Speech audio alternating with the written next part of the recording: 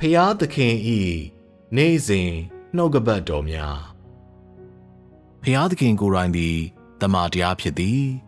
သူကိုယ်တိုင်တမန်တရားကိုပိုင်ဆိုင်ပြီး သူသည်တမန်တရား၏ရှင်းမြစ်ဖြစ်သည် အပြုသဘောဆောင်သောအရာတိုင်းနှင့်တမန်တရားတိုင်းသည် သူ့ထံမှလာသည်အရာခတ်သိမ်းနှင့်ဖြစ်ရအလုံးတို့၏မှန်ခြင်းမှားခြင်းပေါ်ဖျားသခင်သည်တရားစီရင်နိုင်သည် ဖြစ်ပျက်ပြီးသည့်အရာများ ယခုဖြစ်ပျက်နေသည့်အရာများနှင့် လူသားမသိသေးသည့်အနာဂတ်အရာများပေါ်ဖျားသခင်သည်တရားစီရင်နိုင်သည် သူသည်ခတ်သိမ်းသောအရာတို့၏မှန်ခြင်းမှားခြင်းပေါ်စီရင်ချက်ချနိုင်သည့်တပါးရဲသောတရားသူကြီးဖြစ်သည် ဆိုလိုသည်မှာအရာခတ်သိမ်း၏မှန်ခြင်းမှားခြင်းကိုဖျားသခင်သာလျှင်စီရင်နိုင်သည်ခတ်သိမ်းသောຢာတို့အတွက်စီကံများကို သူသိသည် ဤသည်မှာတမန်တရား၏ပြရုပ်ဖြစ်ပြီးဖျားသခင်ကိုယ်တိုင်သည်တမန်တရား၏အနှစ်သာရကို ပိုင်ဆိုင်သည်ဟုဆိုလိုသည်အကယ်၍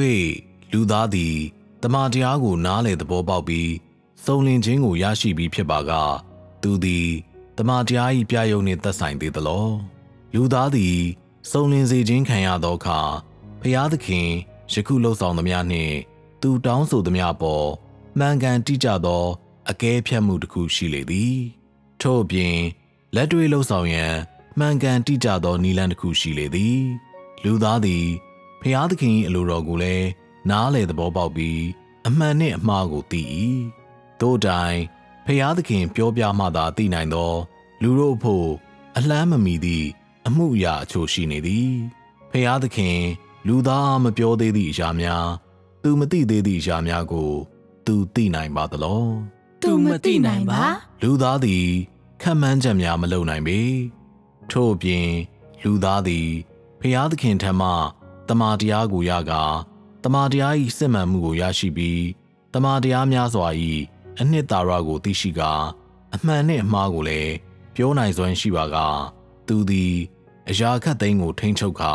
အုပ်စိုးနိုင်သောအစွမ်းရှိသလောမရှိပါရှင်းသည်ခြားနာချက်ဖြစ်သည်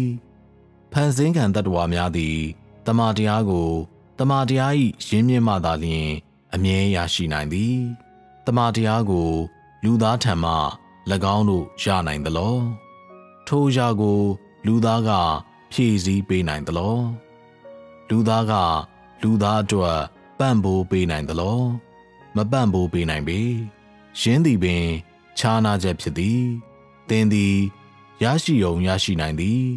မပန့်ပိုးပေးနိုင်ပေသင်ကိုတမာတရားဤပြယုတ်ဟု